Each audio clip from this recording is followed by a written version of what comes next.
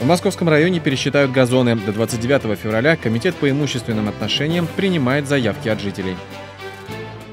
Инвентаризация нужна для того, чтобы понять, сколько зеленых зон в районе и какие являются наиболее ценными. Таким образом, можно сохранить сквер во дворе, наоборот, заявить о нехватке парковочных мест или уберечь от застройки пустыри, предложив сделать там сад. В настоящий момент в районе три крупных парка и более 20 объектов общего пользования с зелеными насаждениями.